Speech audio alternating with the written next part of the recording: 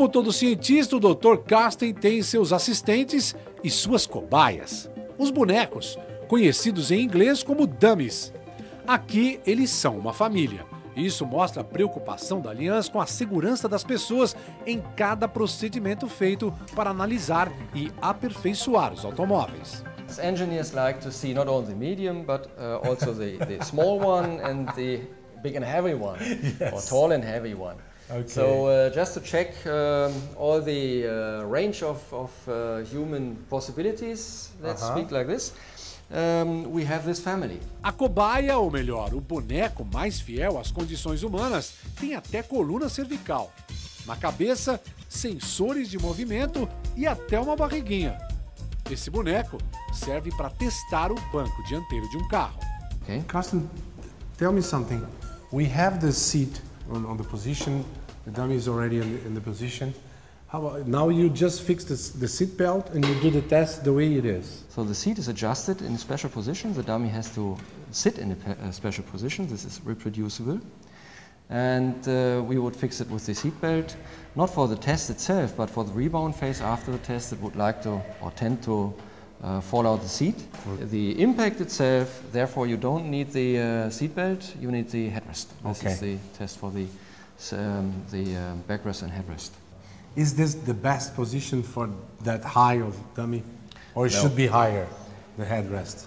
Uh, just as an advice for real life, um, take the headrest in the highest position uh, that is um, convenient for the, for the head. That means as high as the head is would be the best position. Okay. At least, if not possible, if you have a smaller seat or a, the headrest uh, will not uh, come out so far, at least the, on the level, upper level of your ear. Of your ear. Yeah. This okay. means the center of gravity of the head will be within the range of the headrest. If it's not, it will tend to go over, which means bending the, head, the, uh, the neck. Okay. So if you have the headrest in the lowest or in the stout position in your car, the head will tend to move over it in case of a rear impact, which is significantly dangerous for the neck. And how important is the dummy itself for this test? Because we see here, this one is a kind of belly, just like me, for example. no, no, this is a this is a, a significant belly. Yes, but uh -huh. we have uh, two and a half liters of water in it, just mm -hmm. to mm-hmm. simulate what is inside your your your uh, belly normally. -huh. This is movable. It's not fixed like bones, so it can move during an impact, rear impact. And to simulate this, we have water inside here. This is the first thing that is very spe uh, special for this dummy. This dummy is uh, very biofidelic uh, due to its spine. It can move as human spines move. You can see it bends, it tilts its head, but it will always come back to this position. So if I do mm -hmm. something like this, it comes always back to this position. This means these cables with dampers and springs uh, simulate the muscles and stable the, the head in that this position. Yeah. So if we have a rear impact, it will tilt to the uh, headrest, but come back afterwards like human beings would do. Okay.